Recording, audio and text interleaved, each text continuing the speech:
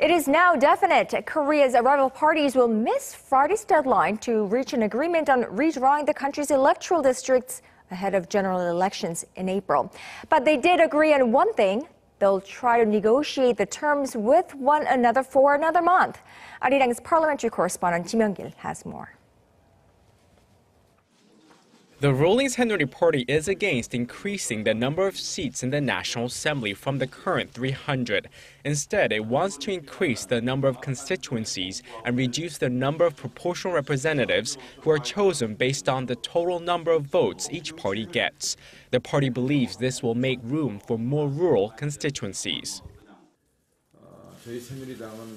The Saenuri Party is doing all it can to prevent the loss of seats in rural regions by lowering the number of proportional representatives. But the opposition bloc is only thinking about trying to keep the current number of proportional representatives the same. There are currently 54 lawmakers elected through the proportional representation system, and the main opposition New Politics Alliance for Democracy Party wants to maintain that number.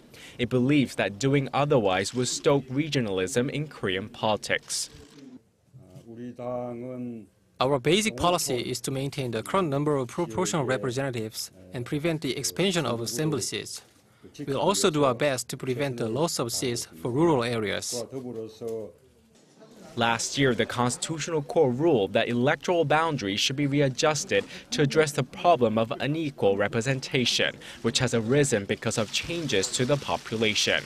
Under the plan currently up for consideration, the number of urban electoral districts would increase while the number of rural constituencies would decrease in accordance with the shrinking of rural populations. The two parties hope to reach agreement on a rezoning scheme before the current parliamentary session ends in December. Amid the deadlock, lawmakers did pass some 40 pending livelihood bills on Thursday.